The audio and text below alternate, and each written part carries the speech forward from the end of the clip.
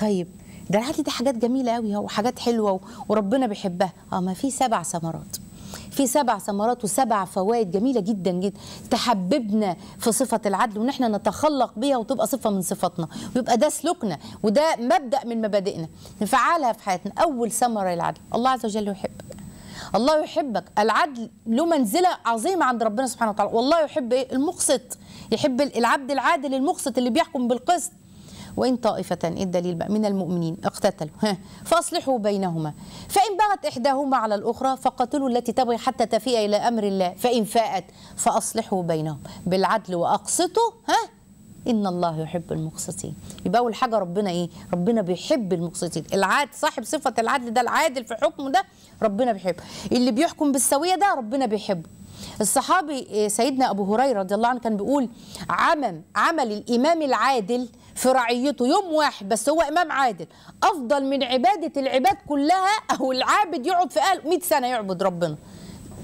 يوم واحد بس عدل طيب يبقى دي أول ثمرة. الله عز وجل إيه؟ يحب. هذه الصفة ويحب المقسطين.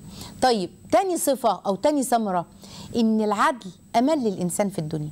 هو أنا م- أحس بالأمان إزاي؟ لا ده ده ده ده البلد دي يقام فيها القانون يقام فيها عدل ومحدش وبلد دي زي ما النبي وسلم روحوا الحبش فإن فيها إمام لا يظلم الناس ما بيظلمش. العدل أمان للناس. الرسول عليه الصلاة والسلام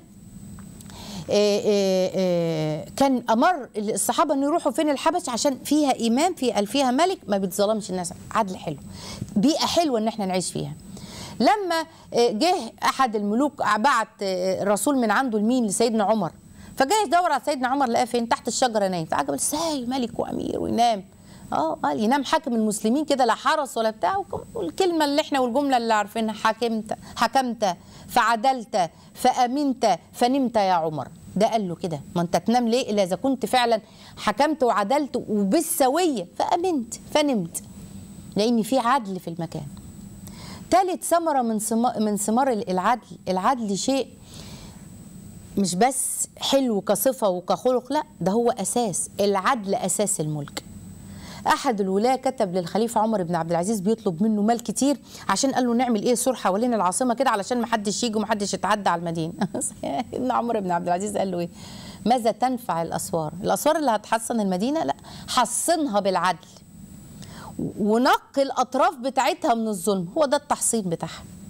رابع ثمرة من ثمار العدل اللي هي إيه؟ وفايده إن العدل بيوفر الأمان للضعيف. والفقير اللي مش لاقي نصره لكن في عدل. طب حتى لو غني متجبر مش عارف آه هو ده دام في عدل هياخد حقه. يشعر بالعزة والفخر يبقى هو أمان للفقير. خامس حاجة من ثمار العدل العدل بيشبع إيه؟ الحب بين الناس. مش هيبقى كذا ده ده ظالم وأنا بكرهه وأنا كده. وبين الحاكم والمحكوم مش بندعوا عليه ويعملوا فيه ويلعنوه صباحا ومساء بسبب ظلمه سادس حاجة العدل بيمنع الظالم عن الظلم. وبيمنع الطماع عن الجشع عليه لأن في عدل وفي أحكام بتطبق وفي كذا وفي كذا ففي عدل.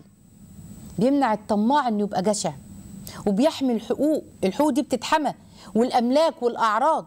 سابع حاجة الإمام العادل فين يا جماعة؟ ها من السبعة صح؟ السبعة اللي ظلهم الله في ظل يوم لا ظل إلا ظل. الله سبحانه وتعالى يرزقنا ظل ربنا وإياكم قولوا آمين.